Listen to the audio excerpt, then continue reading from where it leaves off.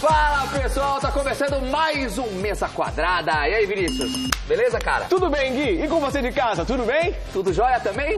É isso aí, o Palmeiras é campeão brasileiro! E o Dorival Júnior, hein? É vice pela terceira vez do Palmeiras. 2015, Palmeiras campeão da Copa do Brasil. Dorival vice. Palmeiras campeão brasileiro. Dorival vice. Campeão brasileiro de novo. Dorival vice!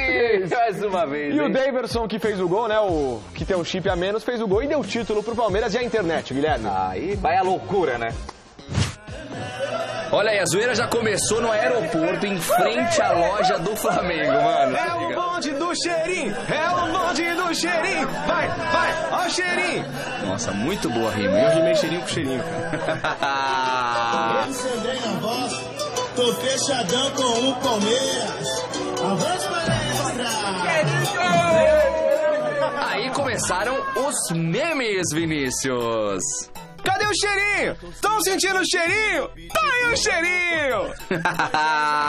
Olha lá, Dudu, os caras achando que alcançam a gente. Graças a Deus. Quer dizer que eu tava ultrapassado? Segura minha taça, campeão!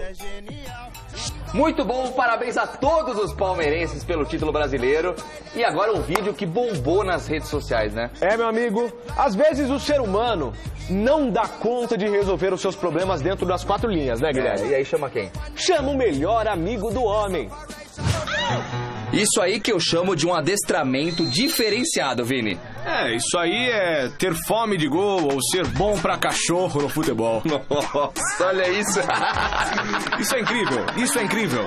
Impressionante, o cachorro salvou o goleirão. Reveja, o cachorro entra em campo, em câmera lenta, a partir da batida ele acelera e defende o gol, é incrível! Que cachorro, hein?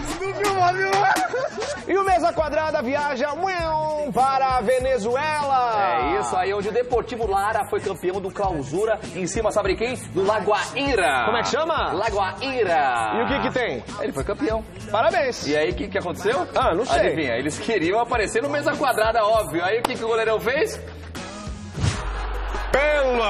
De meus filhinhos! Olha só o goleirão, ele recuou a gorduchinha e olha no que deu, Celso Cardoso. É, Silvio Luiz, é, a gente pode analisar que o cronômetro marcava mais de 90 minutos, ou seja, já estávamos nos acréscimos da partida, Silvio Luiz. É isso aí, parece que ele não se deu bem com a própria perna. Quem gostou nada disso pra torcida?